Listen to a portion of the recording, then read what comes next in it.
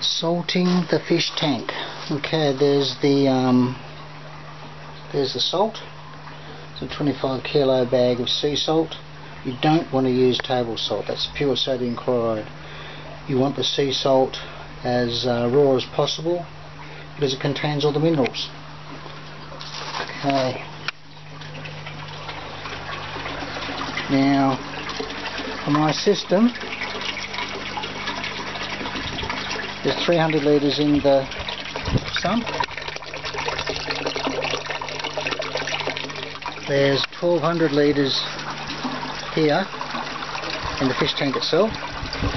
So I measure up 3 parts per million, which is about 4 kilos of salt in the scales and slowly dissolving it and adding it slowly as uh,